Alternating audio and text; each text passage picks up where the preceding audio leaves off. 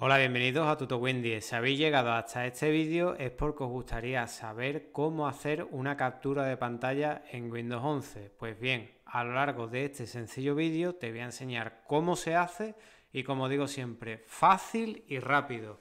También te recuerdo que aquí en la descripción de este vídeo te voy a dejar un enlace directo hacia mi página web con más información, incluso con vídeos relacionados, como por ejemplo, ¿os gustaría saber si tu PC es compatible con Windows 11?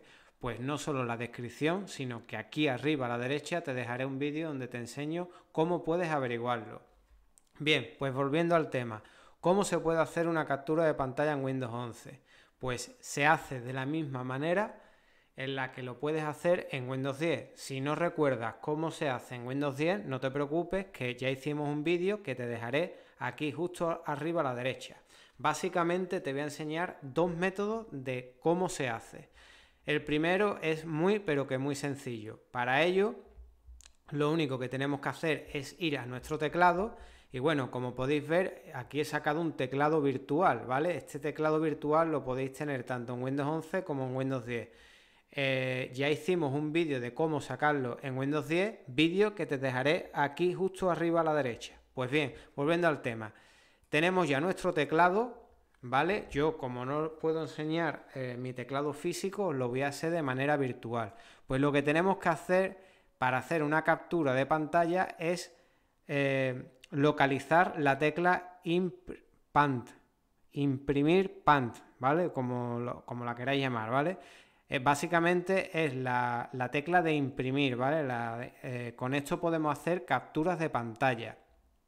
Evidentemente, si tengo aquí el teclado sacado y le doy a Imp Pan, pues lo que me va a sacar es también el teclado. Por eso os lo digo que lo hagáis con un teclado físico. Bueno, pues vamos a poner, por ejemplo, no sé, vamos a abrir Microsoft Edge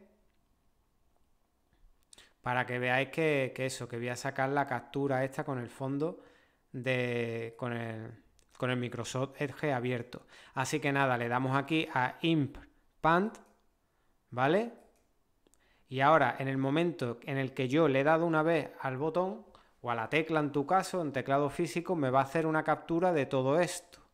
¿Cómo podemos encontrar la captura? Bueno, pues básicamente, mejor dicho, lo que tendremos que hacer es pegarla en un editor de fotos, eh, en este caso en Paint, ¿vale? Para encontrar Paint, tan solo tenemos que abrir el buscador y ponemos aquí Paint, ¿vale? Y entramos en la mejor coincidencia. Sabremos que habremos hecho la captura de pantalla porque aquí nos sale la opción de pegar. Le damos a pegar y como podéis ver, esta es la captura de pantalla, ¿vale? Aquí en este momento preciso sale cuando yo he pulsado la tecla de Impand, o como, como se diga, es que no sé esto, imprimir pand, ¿vale? En tu caso, si usas un teclado físico, pues evidentemente no te saldrá este teclado virtual. Ahora, ¿cómo podemos guardar lo que sería esta foto o esta captura?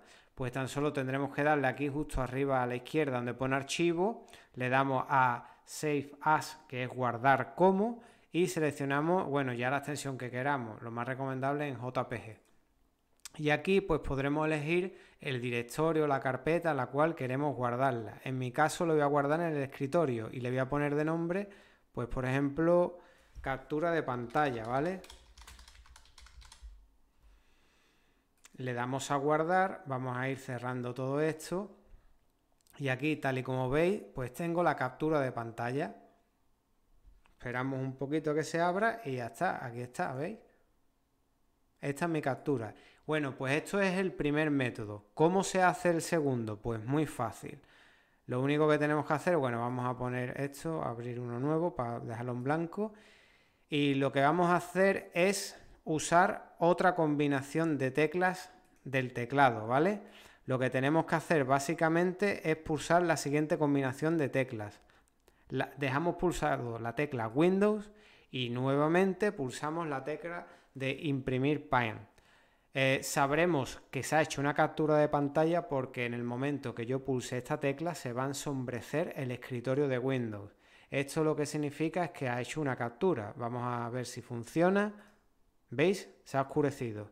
Ahora, ¿dónde pego esta captura? Nuevamente tenemos que ir a Paint y ya nos saldrá aquí pegar.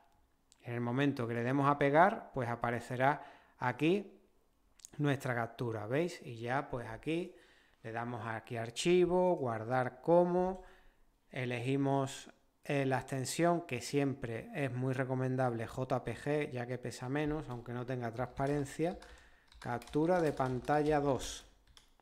Le damos a guardar. Y aquí pues tendremos nuestra segunda captura de pantalla hecho con el segundo método para capturar pantalla en Windows 11. Bien, pues esto ha sido todo. Espero que te haya gustado este sencillo vídeo, que le dejes a me gusta, que lo compartáis y recordar suscribirse a TutoWin 10 y que activéis la campanita para estar al tanto del siguiente capítulo. Justo aquí arriba a la izquierda te enseñaré cómo poner Windows 11 en español si está en inglés u otro idioma. Aquí una lista de reproducción de tutoriales de Windows 11 y aquí arriba a la derecha el botón de suscribirse. Hasta luego.